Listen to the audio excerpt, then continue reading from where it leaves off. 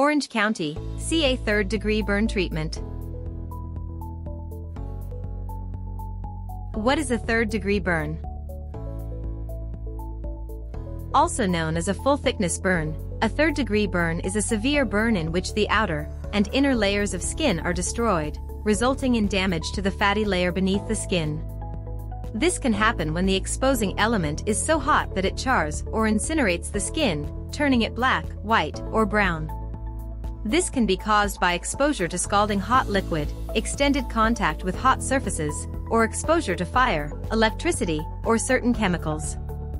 You can learn about other types of burns and treatments in this video. Symptoms of third-degree burns. After a third-degree burn, skin may appear black, white, brown, or yellow. Because these burns destroy the dermis, the nerve cells in the skin are often dead. This means that the burns themselves often don't normally cause pain. The burn site is swollen, and the remaining skin is dry and leathery. Causes of third-degree burns? Third-degree burns occur as a result of exposure to fire, strong chemicals, or electricity, very hot surfaces, or scalding liquids or gases. Exposure to radiation, including sunburn, can also cause a severe burn. Burns can also happen as a result of abuse. Explosions or combat-related trauma can also cause severe burns. Risk factors with third-degree burns. Risk factors for burns of all kinds include occupations with exposure to fire, dangerous chemicals, scalding liquids, etc. Alcohol slash drug abuse physical or mental illness, advanced age, sex, male, complications with third-degree burns. Third-degree burns have a number of potential complications if not handled properly. That's why when you see someone with a third-degree burn, help that person get to the hospital immediately, regardless how much of the body is burned. The potential complications are serious, so the sooner your ER doctor can get the patient under observation, the much better chance they stand of avoiding some of these problems. Children stand a greater chance of developing long-term complications, so treating them with urgency is critical. Infection Third-degree burns destroy the dermis and epidermis, thus exposing the underlying fatty layer to open air.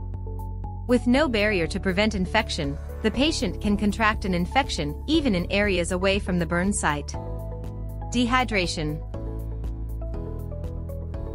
Severe burns draw a lot of water from the body, as they send water to the burn tissue to repair and protect itself. Much of this moisture evaporates. Shock Severe skin damage can send the victim into shock. Shock occurs when the body needs more oxygen, yet is not getting it. Children, in particular, stand a greater risk of shock when experiencing a severe burn. If you believe an individual to be experiencing shock, dial 911 and seek help. Assist the person in lying down and catching their breath. Keep the burn site elevated above the head if possible, and if the individual is struggling to breathe, perform CPR if you have training. Heat exhaustion slash heat stroke. Heat exhaustion is a condition that arises when a burn victim's body temperature rises above normal, 98.6 degrees Fahrenheit. As the temperature continues to rise, a number of complicating symptoms emerge. Extreme tiredness slash low energy.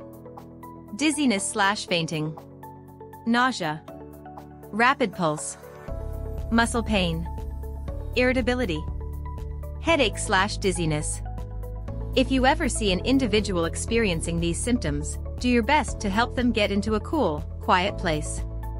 The point of this is to lower their internal core temperature. If the individual's temperature continues to rise, he or she will be at risk of heat stroke. If the burn victim begins to experience heat stroke, help them get to the ER immediately. Exposure to high temperatures can eventually cause brain damage if not addressed. It can also be fatal. Scarring. Without surgery, damage from a third-degree burn is so severe that scars will last indefinitely, and skin contracture occurs.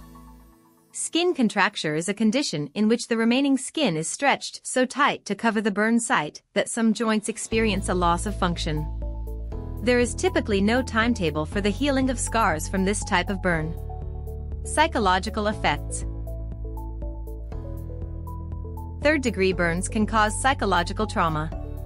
Children are especially vulnerable. If the victim in question is suffering from PTSD, depression, anxiety, or other issues, ask your physician what mental health resources are available. If trauma is not handled correctly, it can cause more harm than the burn itself, especially if the burn is a result of abuse. Grief counseling is very helpful, as well as traditional talk therapies. Other problems Sepsis, hypovolemia, blood loss, hypothermia, long-term mobility issues, and lung damage from smoke inhalation are all concerns when recovering from a third-degree burn. A trip to the emergency room is the victim's best chance for avoiding these complications. How to prevent third-degree burns. Avoiding burns begins with the application of general safety measures in the home and at work. Third-degree burns happen often when a person is exposed to fire, so having a specific plan of escape makes a big difference when a fire occurs. Smoke and carbon monoxide detectors will make sure that you are awake in time to get to your loved ones and get them out safely. Grounded electrical sockets and fire extinguishers are other effective measures for fire safety. Before you use dangerous tools or materials at work, be sure to complete all the required training. At home, you will not have mandatory training, but you will have access to materials that enable you to use your products safely. Handle all hot items and liquids with extreme care, as a mishap can result in a fire. For children, most serious burns occur when very hot items are left within their reach. Always plan the use of hot surfaces or materials with them in mind. How to diagnose third-degree burns. If you have suffered a third-degree burn, you probably know that you need medical attention, assuming you are conscious. Ironically, because of the nerve damage, third-degree burns don't cause as much pain. If the skin has extreme discoloration, a lack of feeling, and severely dry and leathery texture, then you need to go to the ER.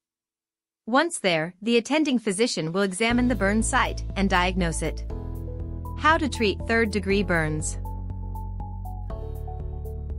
Third-degree burns require a combination of treatment modalities, which address different concerns.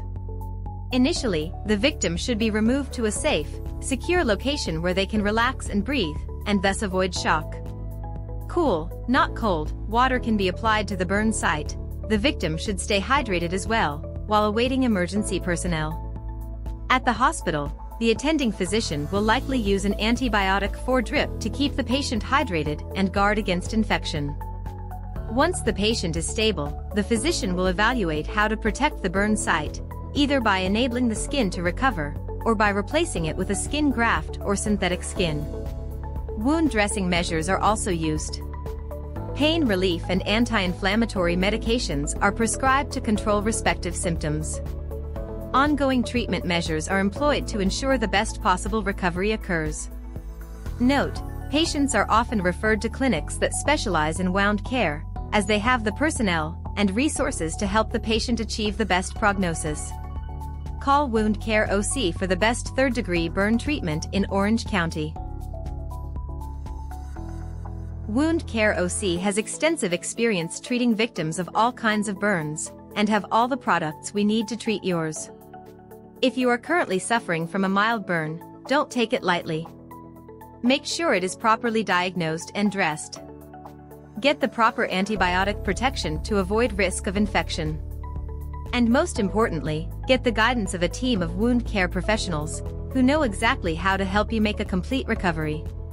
Call us or stop by today, and we would be happy to make an appointment with you to evaluate your healthcare needs. For more information, contact Wound Care OC on 833 700 0998 or email us at drb at zephyrmedicalgroup.org.